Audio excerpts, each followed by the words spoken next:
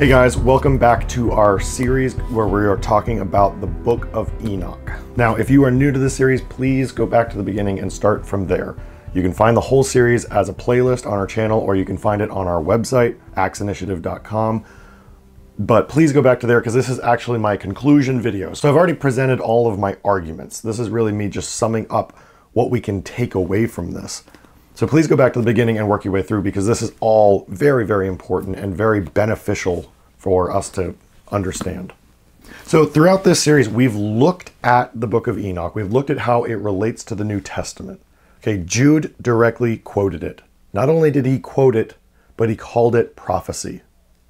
And Peter tells us that all prophecy, all true prophecy, comes from God and is breathed out by God through the Holy Spirit, which is exactly what Paul says about Scripture. It's breathed out by God. So Paul says that scripture is words that are breathed out by God. Peter tells us that prophecy is words that are breathed out by God. And Jude tells us that the book of Enoch is true prophecy. That would mean that the book of Enoch should be considered scripture because the book of Enoch is words breathed out by God, according to Jude. Jesus takes it a step further, as we saw, when he was talking to the Sadducees who only believed that Genesis to Deuteronomy is scripture. They didn't read anything else. They didn't read the book of Enoch. And they were asking him a question, and he said, You guys are wrong because you don't know the scriptures. And then he immediately taught from the book of Enoch to explain what he was saying. So Jesus is saying, You guys are wrong because you don't know the scriptures. This is what Enoch said. This is what you should know. And he's calling the book of Enoch scripture. And we looked at all this in more detail. We also looked at how the apostles referenced and quoted and alluded to and taught from the book of Enoch over and over and over and over and over. They taught about Jesus from the book of Enoch. We looked at how Enoch saw visions of heaven that no man has seen, and he described it in the exact same way that John later came along, saw visions of heaven that no man has seen, and he said he saw the same thing. But Enoch was written first. We consider John to be scripture. He actually saw that. Well, if that's true, then Enoch must have seen it too, because Enoch was written first and describes the same thing. We've gone through the book of Enoch, seeing how important this book was to the early church, how important this book was to the apostles and Jesus. And so this really brings me to a big point that we should take away from this. And to show the importance of this point, I want to read something from the book of Enoch. At the very beginning of the book of Enoch, he says, The words of the blessing of Enoch, with which he blessed the elect and righteous, who will be living in the day of tribulation, when all the wicked and godless are to be removed. And he took up his parable and spoke. Enoch, a righteous man whose eyes were opened by God, saw the vision of the Holy One in the heavens, which the angels showed me, and from them I heard everything, and from them I understood as I saw. But not for this generation, but for a remote one which is to come. So Enoch is saying, This book that I have written, this is for not the people living at my time, but for people in a coming generation, the people living in the day of tribulation, a remote generation in the distant future. This book is written for them. That's how he opened his book. That is the very first couple of sentences in his book. Towards the end of his book, he said, And now I know this mystery that sinners will alter and pervert the words of righteousness in many ways, and will speak wicked words and lie, and practice great deceits, and write books concerning their words. But When they write down truthfully all my words in their languages and do not change or diminish from my words, but write them all down truthfully, all that I first testified concerning them, then I know another mystery. That books will be given to the righteous and the wise to become a cause of joy and uprightness and much wisdom. And to them will the books be given, and they will believe in them and rejoice over them. And then will all the righteous who have learnt therefrom all the paths of uprightness be recompensed. So Enoch is not only saying, hey, this book that I'm writing is for a remote generation that is to come, the generation that's living in the day of tribulation. Not only does he say that, but he says, I know that people are going to change the words of righteousness. He says they will alter and pervert the words of righteousness in many ways. So, this book that we call Scripture, according to the book of Enoch, which we have seen in many ways, this should be regarded as Scripture. And according to this book, the Bible that we have has been altered and perverted in many ways. For example, there are things that are supposed to be in here that we don't have. We don't have them with us. And Enoch said that this is what we should expect. The words of righteousness will be altered and perverted. But, then he says, but when they write down truthfully all my words in their languages, and do not change or diminish from my words, but write them all down truthfully, all that I first testified concerning them. Let's pause there and recognize the fact that the book of Enoch was lost for almost 2,000 years. The words of righteousness were altered, they were distorted, they were perverted. And the book of Enoch was lost for almost 2,000 years. But then it was found. And now, very, very recently, it's being translated into various languages and given back to the people. This is what Enoch said would happen. And he says, then, at that point, when his words are translated and given back to people, says, Then I know another mystery that books will be given to the righteous and the wise to become a cause of joy and uprightness and much wisdom. And to them will the books be given, and they will believe in them and rejoice over them. And then will all the righteous who have learnt therefrom all the paths of uprightness be recompensed. What is he talking about? Well, that brings me to my larger point for this series. And that's the fact that if we can look at the book of Enoch and see so clearly that the book of Enoch belongs in Scripture because Jude called it prophecy, Jesus called it Scripture, the apostles taught from it, all the things we've been going through in this series. If we can recognize that the book of Enoch should be in Scripture, then we need to start reevaluating some other books as well. Our whole idea about the canon of Scripture is built on man's tradition. Men chose which books belong in here. And when we look at the canon of Scripture and anybody asks, how do we know there's not supposed to be anything else in there? The best answer that the best scholars can give is essentially trust us. They say, God preserves his word. Bible doesn't tell us that God said nothing will be added or removed. In fact, the book of Revelation said all of these curses that are in this book will be put on those who add or remove. The implication is some people are going to add or remove. This whole idea that people have that God preserves his word is not based on scripture. Scripture does not promise us that God is going to preserve his word in the sense that he will keep the canon of Scripture to be perfect and unaltered. I believe God preserves His Word in the sense that here we are thousands of years later and we still have it. Yes, it's preserved. But I don't believe that God preserves His Word in the sense that men will not try to distort it because the Bible specifically promised us that men will distort it successfully.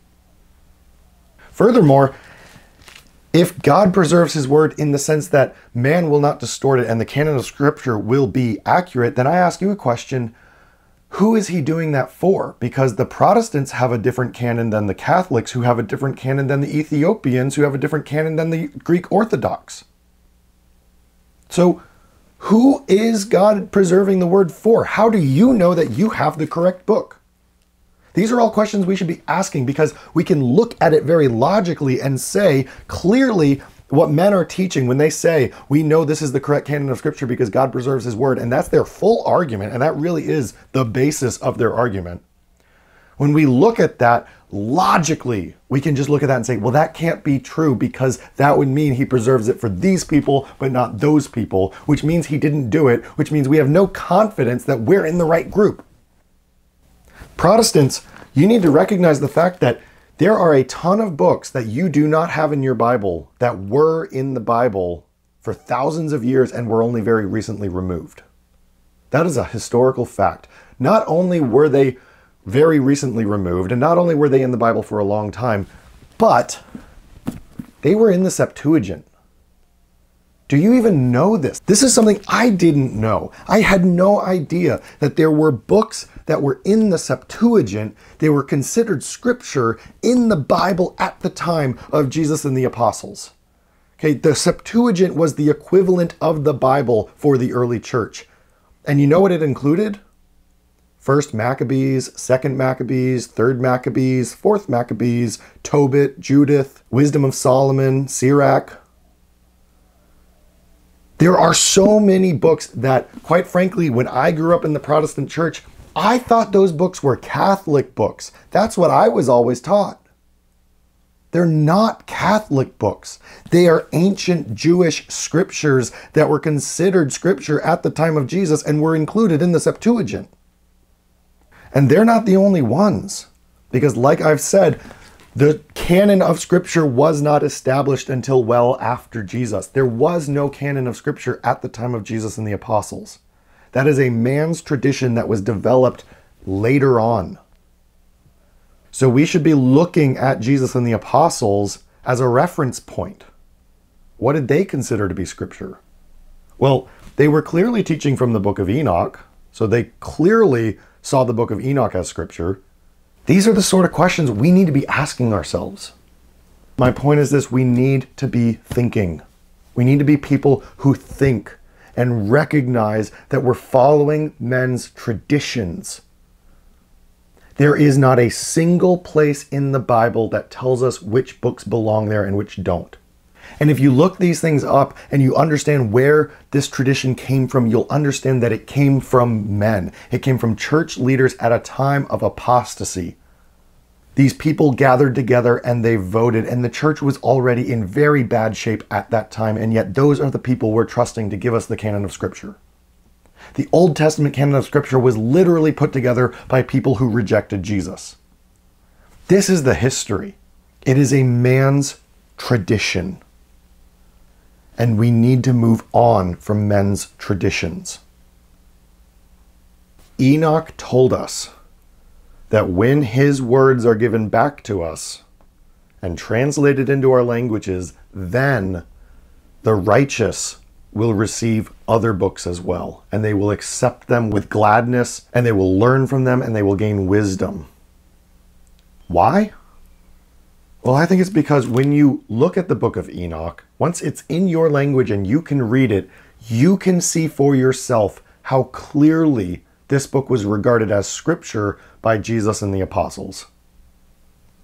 It's an overwhelming case. And when you recognize that, then you can begin to evaluate these other books as well and recognize that your canon of scripture is a man's tradition. And it's something we should move away from. And when you move away from that tradition, you can then go to these other books and evaluate these other books as well. And you start understanding things like the books of the Maccabees and Judith and Tobit and Wisdom of Solomon and Sirach and many others were included in the Septuagint. They were included in the quote unquote Bible of the early church. And it's a very recent man's tradition that removed them. And when we begin to understand that and we start reading these books, we begin to see all of the things that we can gain from these books and be taught by these books. The book of Enoch is the key. It's the book that is so clearly supposed to be scripture that is not included in scripture, so that when we recognize it, we begin to realize we need to evaluate all these other books as well. And then those books are given to us, and we can learn from them, and we can gain wisdom and understanding from those books as well. Now, I'm not sitting here saying, hey, all of the Apocrypha is scripture. No, I'm not. Especially the New Testament. I really, the New Testament Apocrypha is something that I would highly suggest you be wary of.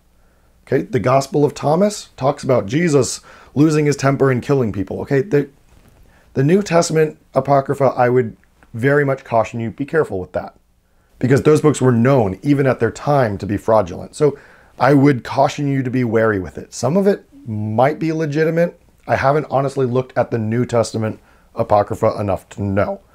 But when it comes to the Old Testament Apocrypha, guys, there are, there are so many references in the New Testament from these other books. You have no idea if you haven't read them. Okay, Maccabees, this is what Jesus was talking about when he says, When you see the abomination of desolation as spoken by the prophet Daniel.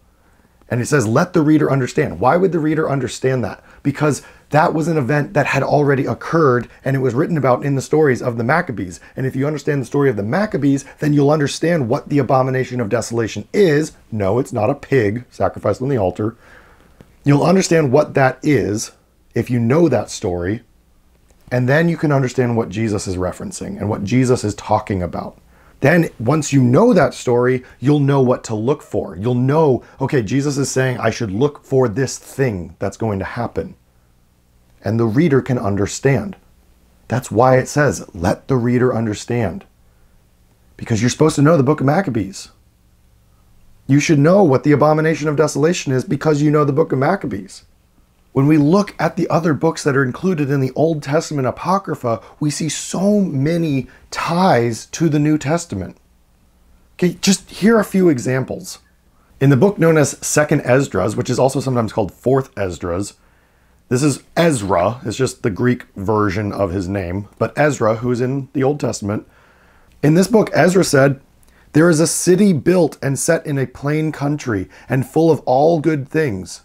But the entrance thereof is narrow, and is set in a dangerous place to fall, having a fire on the right hand, and on the left a deep water. And there's only one path between them both, even between the fire and the water, so small that there could but one man go there at once.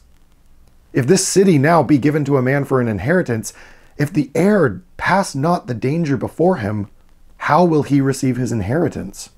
And I said, It is so, Lord. Then he said to me, Even so also is Israel's portion.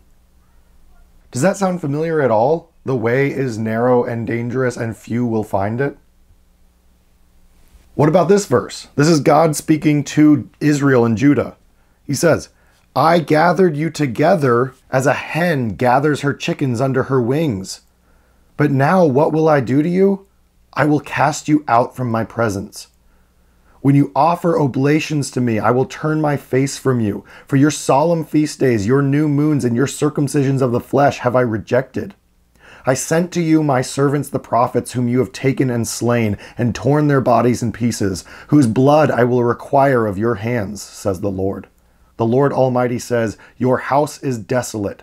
I will cast you out as the wind does stubble. Here's a quote from the book of Jubilees. Jubilees 1:23.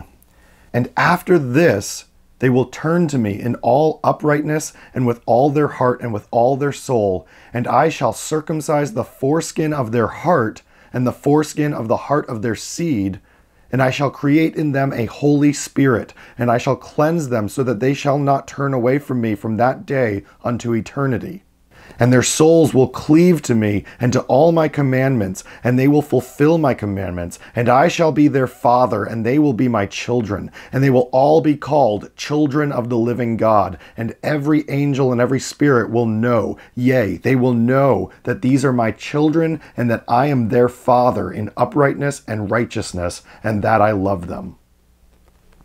I hope you know the New Testament well enough to recognize that that is what the New Testament teaches. But Jubilees, another book found in the Dead Sea Scrolls. This predates Jesus. Okay, he says here he's going to circumcise the foreskin of their heart and the foreskin of the heart of their seed and create in them a Holy Spirit. Well, this is something Paul taught regularly. He said A person is not a true Jew if he is only a Jew by physical appearance. True circumcision is not only on the outside of the body. A person is a Jew only if he is a Jew inwardly. True circumcision is done in the heart by the Spirit, not by the written law. And then in Colossians, Paul said, In Christ you were also circumcised but not with a circumcision done by hands. It was a circumcision done by Christ, which cut away the body of flesh. This is exactly what Jubilees said God will circumcise our hearts and give us the Holy Spirit. In the Testament of Levi, this is from the Testament of the 12 patriarchs. Okay, and in the Testament of Levi, it describes Levi passing through the first heaven, through the second heaven, and into the third heaven. This is similar to what Paul said in 2 Corinthians when he says, I know a man who is taken into the third heaven. And the Testament of the 12 patriarchs, found in the Dead Sea Scrolls. In the life of Adam and Eve, or sometimes called the Book of Adam and Eve, it says, 18 days went by. Then Satan was angry and transformed himself into the brightness of angels and went away to the Tigris River to Eve and found her weeping. Well, in 2 Corinthians, Paul says even Satan himself disguises himself as an angel of light. Where does he get that from? That's not in our Old Testament, but it is in the book of Adam and Eve. In the book of the Ascension of Isaiah, it describes Isaiah being sawn in two. And in the book of Hebrews in chapter 11, it talks about the prophets and says some of them were sawn in two. Okay, these are just a few examples. I don't have time to go into all of the books and talk about all of the things. But my point is, the New Testament is drawing from many other books that we do not include in our Old Testament. And we can see that the book of Enoch was clearly scripture to the apostles in Jesus. They taught from it, they referenced it, they called it scripture and prophecy. And so, if they're willing to think about a book that we don't include in our Bibles, if they were calling it scripture, then what about all these other books that they were quoting and referencing as well? It's time that we start reevaluating these things. I'm talking specifically about the Old Testament books, okay? They tend to be separated by scholars into two categories Apocrypha and Pseudepigrapha. Don't get thrown off by the different titles, those are all assigned by the scholars today. Just keep in mind that these books, these Old Testament books that are not included in our Bibles, they're only not included because men decided to not include them. Specifically, men who hated Jesus and hated Christianity. So I want to encourage you guys start looking into these things. As I've been saying throughout this series, Condemnation without investigation is the height of ignorance. If you're going to dismiss an idea because it goes against everything you've ever believed, and you hold to that so tightly that you won't even hear the arguments going against it, then you don't really know what you're talking about. You don't actually have an argument, and you don't really have grounds to stand on. And remember the Bereans. Okay, in the book of Acts, Paul came to the Bereans and he taught the gospel of Jesus, which was something they did not yet believe. They didn't know it. They didn't agree with it. And yet it says they were willing to hear him out, hear his arguments, and then they went and searched the scriptures for themselves to see if it was true. And it says because they were willing to do that, many of them were saved. And so, as I've said all along throughout the series, that is all I'm asking. Look into these things and stop blindly following man's traditions. So now just to conclude really quick, I want to point out a few different options for you as you look into these things. The book of Enoch that I've been reading from throughout this series is found in this copy of the Complete Apocrypha, which is actually not complete. But this is, I found this on Amazon. It's put out by Covenant Christian Coalition. It's called The Complete Apocrypha. It includes Enoch, Jasher, and Jubilees. Great books to read. Jasher's a weird one, but great book to read. As always, anything that's put out pretty much by any scholars these days, they include a little introduction where they tell you it's not scripture. I actually cut out a page of introduction because I was like, nope, I don't even want that in there. But at the beginning of each book, they say, this isn't scripture, but it's a, this is what it's about, blah, blah, blah. Skip the introductions, just read the text and evaluate it for yourself. This is a great resource to have. Another translation you can read for the book of Enoch is this one here. It's the Hermeneia translation by Nickelsburg and VanderKam. Uh, this is actually the first version that I ever read, and uh, it was helpful, but I will admit that it's a little more difficult to read, which is why I primarily am reading from this one and quoting this one, which is also still kind of difficult. It's older English, um, but it works. And then you can also find the Book of Enoch as well as pretty much every Apocrypha, Pseudepigrapha book of the Old Testament in these huge books right here. This is the Apocrypha books. These are the pseudepigrapha books. Again, don't get caught up in the different titles. Those are assigned by scholars today. So don't get caught up in that. But these books here, these are very difficult to read. It's very older English. It was translated, I think, in the early 1900s. Uh, but this includes Jubilees, the letter of Aristeas, the books of Adam and Eve, the martyrdom of Isaiah. That's the other one. Sometimes it's called, I think I said Ascension of Isaiah earlier.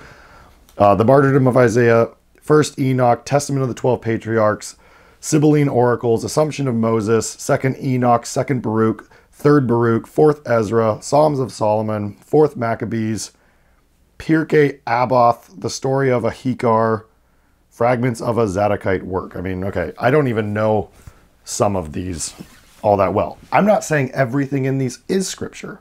I'm just saying I think they're worth looking into and evaluating. Some of those books, honestly, I haven't really read very much. And then the Apocrypha side of it includes First Esdras, First, Second, Third Maccabees, Tobit, Judith, Sirach, Wisdom of Solomon, First Baruch, Epistle of Jeremiah, Prayer of Manasses, additions to Daniel, and additions to Esther. Now, the additions to Daniel and Esther are very interesting because they are basically extended versions of the books that we already have in our Bibles.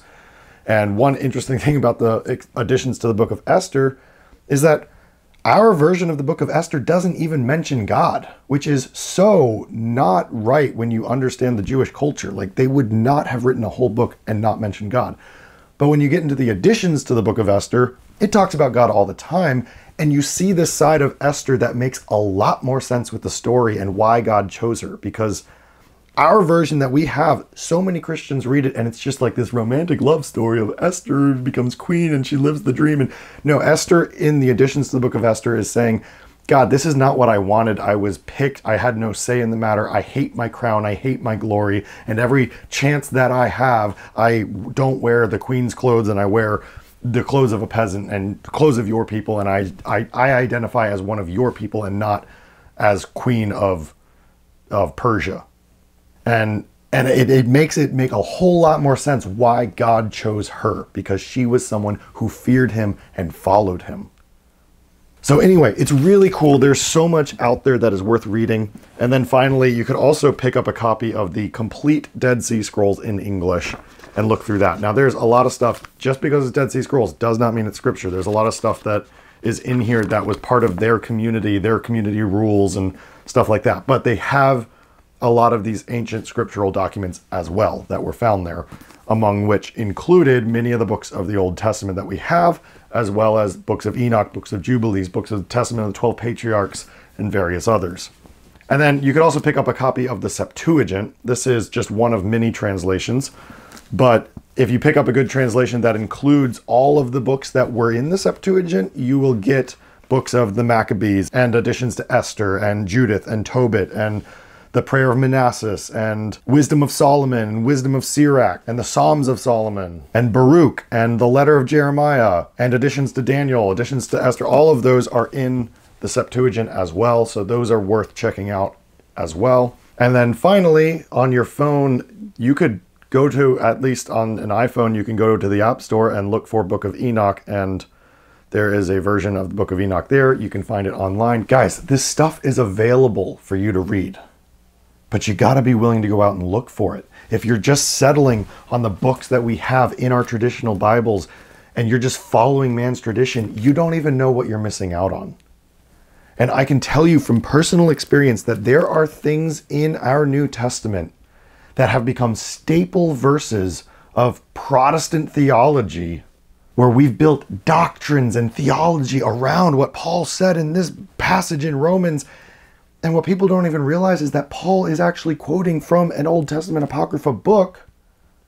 He's teaching from that book, and that book, in that passage that he's quoting, is teaching a completely different concept. And we're missing Paul's whole point because we don't know the context of what he's quoting. We don't even know that he's quoting it. And I've found numerous examples of this throughout the New Testament where people are teaching something wrong from the New Testament because they don't know the scriptures. Just like Jesus said, where people are teaching things from the New Testament without even recognizing or acknowledging that the verse they're reading and quoting was quoting something else and teaching from something else and pointing us back to something else. It was never meant to be something that stands alone. It was meant to say, look, guys, I'm referencing this thing. Go read this thing and you'll understand my point. But if we don't read these other books, we're not going to understand the New Testament because the New Testament is quoting and referencing and teaching from so many other books than what we have in our Bibles. And the evidence for it is clear and overwhelming, and there is no good reason to reject those books. The only reason is the traditions of men. So let's stop following them. Let's stop blindly giving them authority and blindly following them. And let's go look into these things for ourselves. Like I said, when I read these Apocrypha books and pseudepigrapha books, some of them I don't give as much credence to as others. I'm not asking you to go and accept all of them. I'm asking you to look into it. Some of them don't even claim to be scripture. The letter of Aristeas is more of a historical book. It's a valuable book to read. It's just a letter a guy wrote back in ancient times that had to do with the translation of the Septuagint. It's an interesting book. I don't consider it scripture, but it's a historical document. It's worth reading. Check it out. Don't be so afraid let the Holy Spirit teach you. And let's start looking into these things. Because according to the book of Enoch, which we can clearly see is scripture, according to the book of Enoch, when you recognize that the book of Enoch is scripture and you start to read that book, you will begin to see other books, and other books will be given to you, and you will gain wisdom and understanding from other books. And Enoch was saying there will be a time when there will be total distortion and twisting, but then a time will come when his book is given back to us. And historically, that is exactly what has happened. Not only did Enoch accurately prophesy when Jesus would come, but he accurately prophesied the events that would occur over the 2,000 years that have happened since Jesus. Things that he could only have written accurately if he lived today because these things have happened very recently. The book of Enoch has only very recently been given back to us and translated into our language. And yet, thousands of years ago, he said that's precisely what's going to happen. And he said that when you recognize it and you read it and you learn from it, you're going to start recognizing and reading and learning from other books as well and it will be a blessing. So don't turn your back on these books just because men have always told us to. Let's open these books up. Let's read them. Let's learn from them.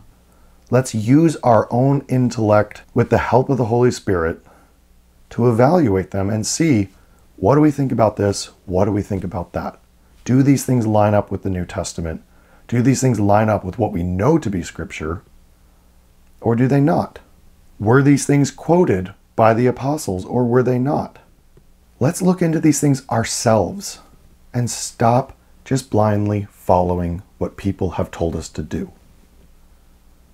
I know that this is a controversial topic. I know that it is a hard thing to accept, and I know that a lot of people won't accept it.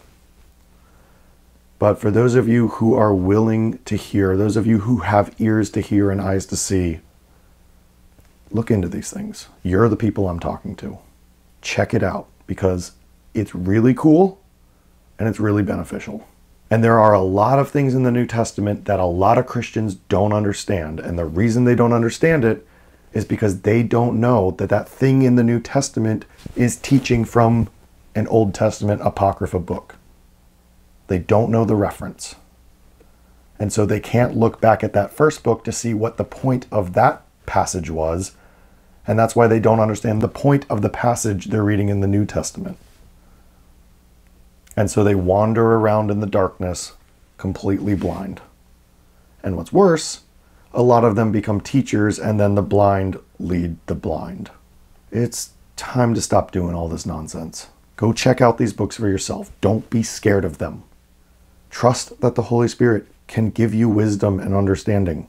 Part of the very fabric of the new covenant is that God said that He will teach us directly and we will not need to be taught by another man. So let's trust our teacher and trust that he's going to show us what's real and what's not. Be a Berean and go look into these things for yourself.